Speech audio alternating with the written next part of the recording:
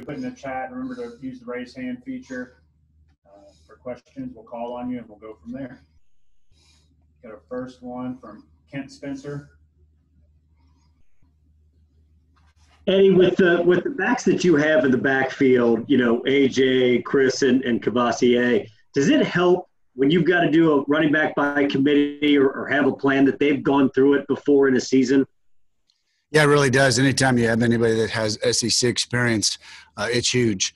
And all three of them have played, and they've all played in th- in, in, critical conditions. So uh, it, it is uh, nice for me to have three guys like that back there with some experience.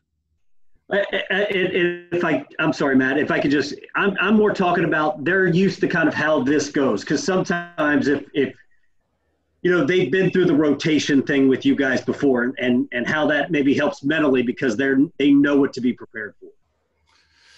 Well, it, it, they all know that if you've got a hot hand and you're going, they're, the, the, the that guy's going to roll, you know. And, and and obviously, if if you're in there and you're not producing, then uh, I take you out. So I hope I answered the question with that. I mean, they, they, they do know that they're all three going to play and they all three bring something different to the table. Jon Hale. Eddie, I wanted to ask you about two of your young receivers in particular from Louisville. Uh, Izayah Cummings, Mark mentioned him last night as a freshman who might play, and then Tate Crooms, who you obviously have talked about as a speed threat before. Just how have those two guys done in camp, and where are they at right now? Yeah, tough. You know, this is it, it's a tough camp for a freshman because of everything that we put in, as we talked about last week. Uh, we put in everything, and we really tried to see what uh, was going to stick and and what we're really good at. And uh, you know, that made it harder for those guys. They're still coming along. Uh, still, it, it's it's tough on both of them. Uh, but you know, in a 10 game season, we're we're trying to develop those guys and get them to where they're playing uh, sometime here by midseason. Josh Moore.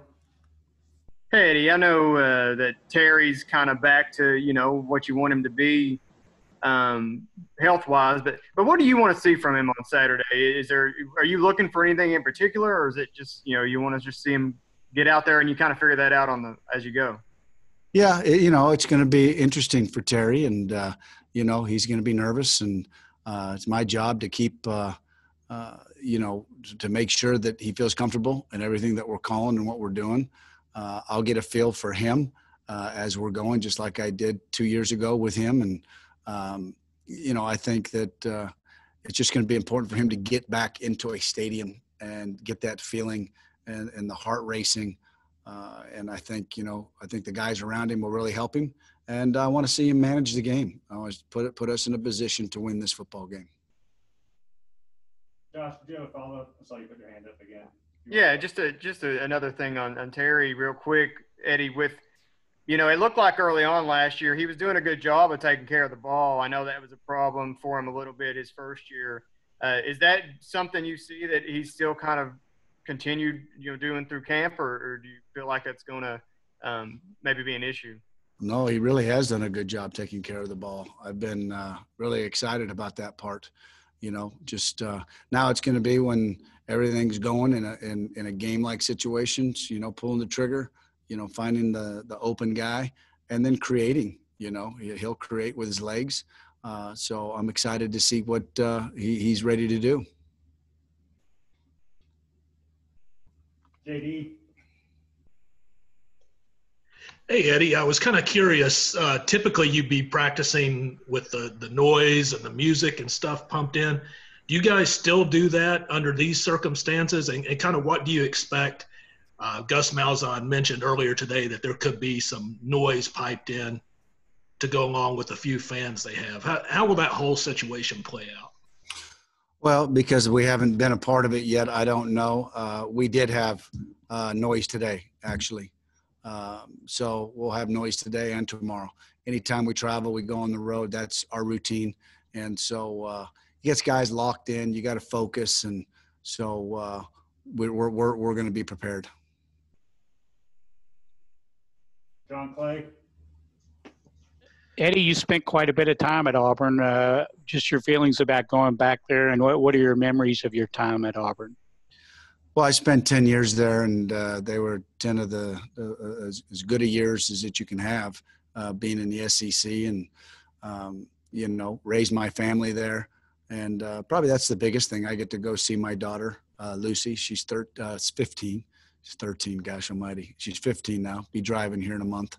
Uh, so I- I'm excited that. You know, friends uh, will be there. I won't be able to see them, but uh, you know, some guys are still on uh, uh, parts of the administration and staff there that I'll get to see. And uh, it was it was a good it was a great 10 years. You know, you stay somewhere 10 years, and and that's an, an absolute blessing in this league.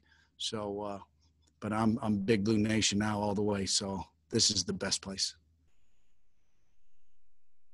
Larry? Yeah, yeah, Eddie, can you talk a little bit about your offensive line? The expectations are so high for them. Have you seen any changes at all in the way these guys have approached what they're getting ready to do this year? No, it's been business as usual for those guys, and you know, big men lead the way, and we'll be as good as they are up front. Doesn't matter if we're throwing it or passing it. It's it's if they go, we go, and uh, yeah, they got a lot on them. People have talked about them, so um, they're going to find out real quick against this Auburn defense on on how good we are and, and how good we can be. Uh, so it's going to be a heck of a challenge for for everybody on offense, but up front especially, they're really good. Thanks. Derek? Eddie, you started to touch on it a bit uh, right there, but under Kevin Steele, Auburn's typically had one of the best defenses in the league uh, year in and year out. Just from what you've seen going through some of their film, what, what kind of makes them stand out? Well, they know what to do, and they're, they're fast and they're long, uh, and uh, they're aggressive. Uh, they they do a Coach Steele does a great job of of mixing things up, and uh, he's a heck of a football coach. Um, and they got a, a lot of speed and talent on that defense. So uh, I'm, I'm I'm excited. I'm excited about the challenge, and I know our players are.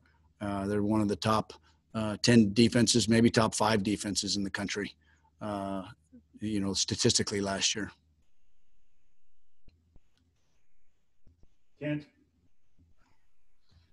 Eddie, I know you guys want to be physical, you know, both up front in the running game. Auburn's one of those defenses that's kind of known for its physicality as well. I mean, is that something that you kind of remind your guys throughout the week is, is something that they need to get prepared for? Absolutely. You know, one of our the things that we always talk about is you got to be the most physical team out there. If, if in, in, this league, if you're not, you don't have a chance. So you know the physicality part of it. When you leave that game, you know you, you, you hope that they they looked over and they said, "Man, that Kentucky football team. The, the one thing they will do is they'll get after your tail." Uh, and I, I don't expect anything else from our group.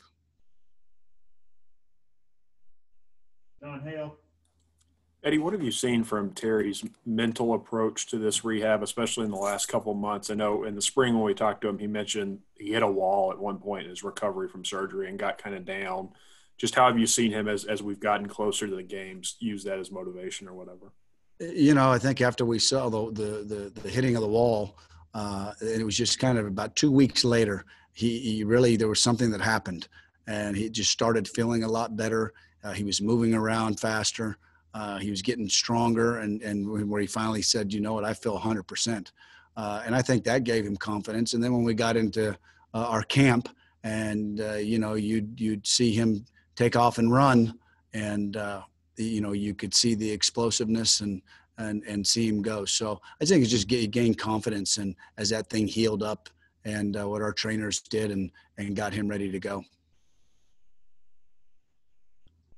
Chandler. Hey, Eddie, you mentioned uh, recently that the offense was struggling to finish in the red zone. And I was wondering, have you seen any improvement in that area as we near the Auburn game? Yeah, you know, we'll have big red zone day tomorrow.